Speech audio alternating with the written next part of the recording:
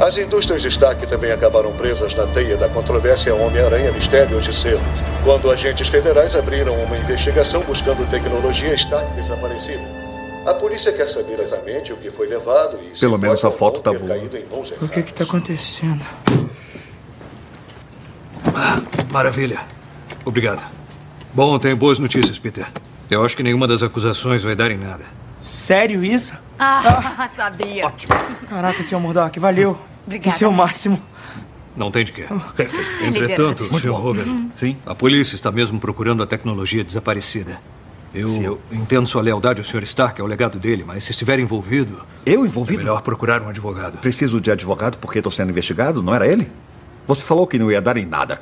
Por orientação jurídica, eu me recuso a responder com todo respeito, porque a resposta pode me incriminar, sendo é, Happy, que nem os bons Happy, companheiros, Happy, que nem Happy. naquele filme. Eu sei que tá pensando nisso, se acalma e vamos ouvir o que ele vai dizer, Matt. Você precisa de um bom advogado.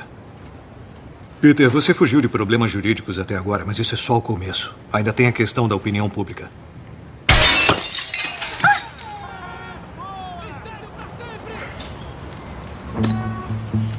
Como é que você fez isso? Sou um ótimo advogado.